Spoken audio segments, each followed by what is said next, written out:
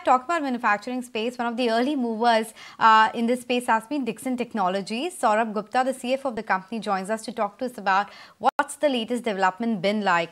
Saurabh, hi, good to be speaking with you. Um, you recently partnered with, you know, uh, Lenovo as well, uh, and you have around 250 crore capex lined up for the IT hardware 2.0 application. Help us understand, A, with respect to this IT hardware, what kind of overall potential do you see and any more such talks in the pipeline? Yeah, so clearly IT hardware uh, will be a large opportunity for us after the mobile mobile vertical. And if you look at government has come out with a revised IT hardware PLI, we are a beneficiary of that. And we have committed an investment of almost 250 crores over six years, both on the final assembly as well as the backward integration. Uh, so we were already manufacturing for Acer uh, for the last 12, 15 months. And now we have got a contract from Lenovo.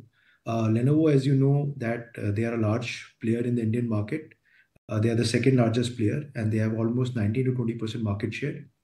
Uh, so by next financial year, of course, in the next four, five months, we'll be setting up capacities for them.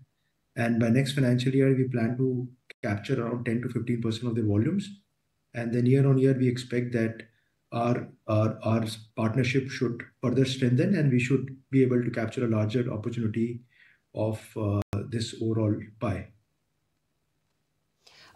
When you say larger opportunity, Saurabh, how much incremental revenue are you eyeing over the next three to five years, specifically from this particular partnership? Yeah, so between both the brands put together, Lenovo and Acer, uh, and also we are in discussion uh, with more brands in this category. Uh, so we think next year, since we will be, it will be the first year for us, there'll always be some ramp up time, stabilization of this business. So next year, I'm expecting somewhere around 1500 to 1800 crore revenues. And then potentially in two years from now, that uh, those revenues can go to around four, four and a half thousand. So in another two years from now, we can, we, we can look at a revenues of four, four and a half thousand crores. 1,500 to 1,800 crores in the next year, almost 4,500 to 5,000 crores over the next three to five years. But talk to me about the margin profile as well, because we understand that to begin with, the margin is going to be very limited to around 2 to 3%. But as we scale up and the operating leverage kicks in, uh, what could be the sustainable margin profile for this segment? Yeah, so one uh, on account of operating leverage, and also there is an opportunity to do more and more backward integration. Uh, so initially we will start with PCBA and then potentially along with a partner the opportunities can be in in the batteries power supply in uh, uh, in display. Uh, so those kind of opportunities will come in. So very difficult to say what what that what impact that will have on the margins. But clearly like the way we have seen in other categories once you start generating a scale and size and generate that operating leverage uh, the margins go up. Initially we should start with around 2.8 to 3 percent kind of margins and then potentially it can keep inching upwards as we as we grow uh, uh, to a particular scale and size here. Um, you know, although Lenovo does not have an exclusive manufacturing contract with Dixon, and please, I mean, correct us if our info is wrong here. Apart from Dixon, we believe no other player has been awarded the PLI to manufacture for Lenovo. So, consequently, in times to come, percentage of Lenovo's volumes do you intend to cater to? And how big could that business and you know partnership become? Uh, so we think it can become a large partnership. We are already manufacturing for Motorola, which also happens to be Lenovo brand. And over the last two and a half years, we have really grown in terms of numbers and uh, basically uh, both for the domestic market as well as for uh, global markets. So we think that uh, if we are able to do a good job like the way we have done for our mobile business, uh, we think this partnership can become big for us in next couple of years. But very difficult to quantify as of now. But my sense they, are a large player and uh, uh, we can we can capture a large opportunity of their overall market share in India. What about the 250 crore capex that you're doing for this particular segment, but what about the rest of the businesses as well? What's your overall capex plan? Because what I'm trying to understand is how your return on capital employed will actually shift going forward with these new facilities coming on board. So return on we, we feel quite confident. If you look at the last six years, we have grown from 1500 crores to last year 12,000 crores, and hopefully we'll have a decent growth in this financial year as well.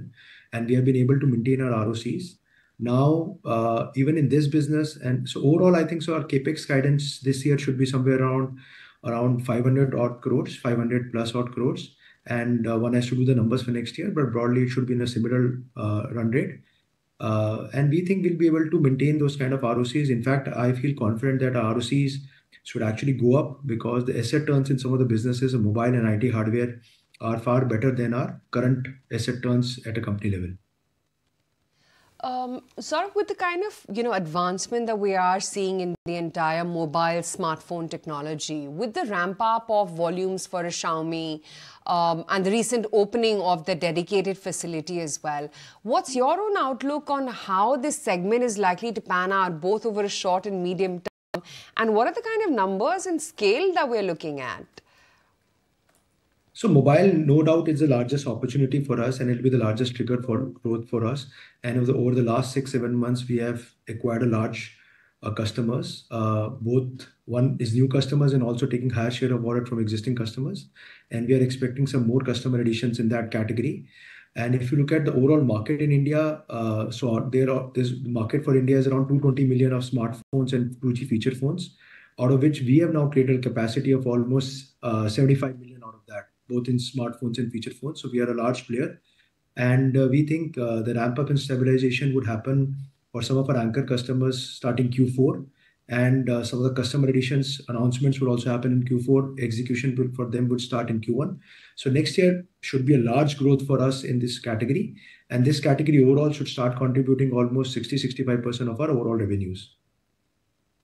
On that note, we Hugo, thanks so much for making time and speaking with us. So that's the latest coming in from Dixon Tech. Of course, the latest partnership coming in with respect to the IT hardware is something that could get a potential or potential revenue to the tune of 4,500 to 5,000 crores over the next three years. But um,